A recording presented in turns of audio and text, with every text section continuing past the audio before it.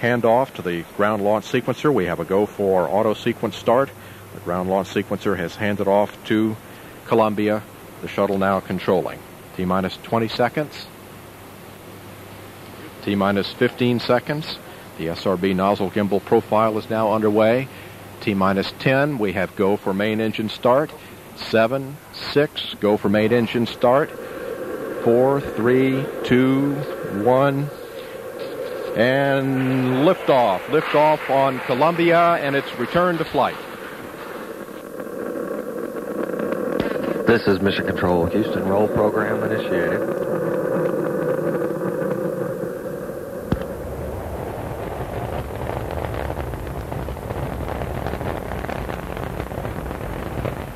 Good roll program confirmed for Columbia. Three main engines up and running.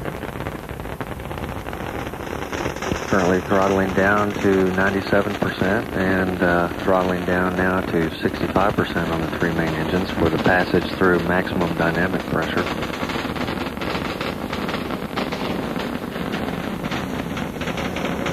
Altitude 18,000 feet, downrange about one nautical mile.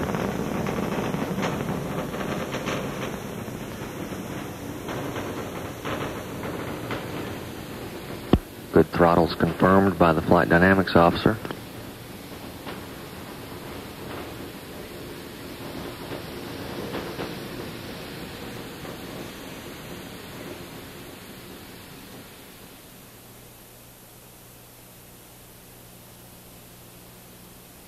Columbia has just been given the go at throttle up call by Mission Control.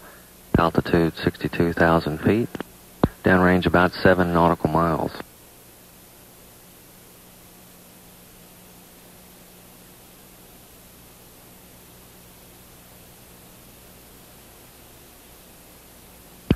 Three good APUs, three good fuel cells, three good main engines, current altitude 100,000 feet, downrange 13 nautical miles.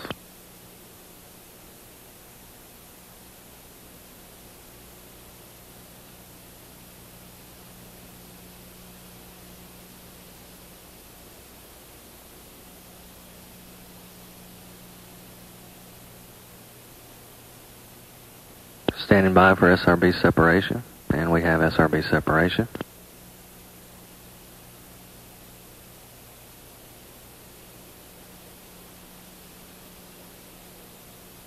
Downrange 30 nautical miles now, 187,000 feet. Velocity is 4,300 feet per second.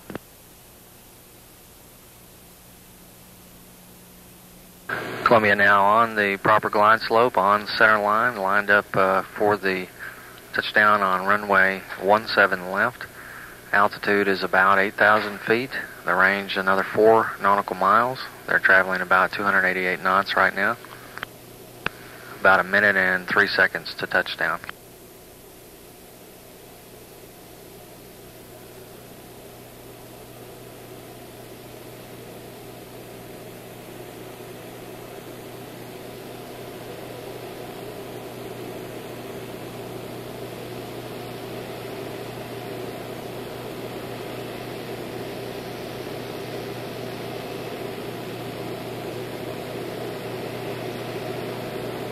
Altitude 1100 feet now, range about one and a half nautical miles.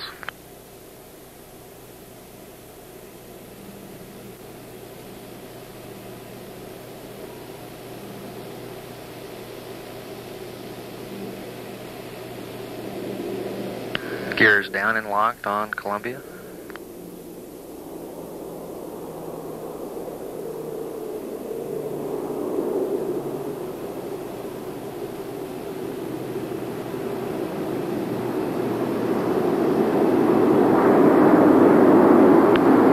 Touchdown.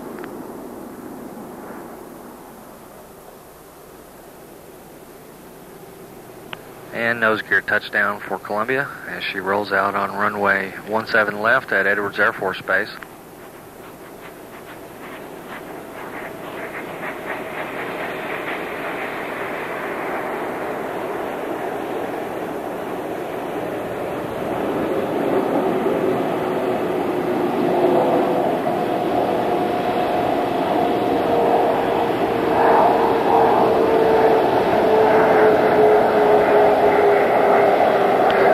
The Mechanical Systems Officer in Mission Control reports good braking on Columbia as she rolls to a stop at a mission elapsed time of 5 days, 1 hour, 0 minutes, and 56 seconds.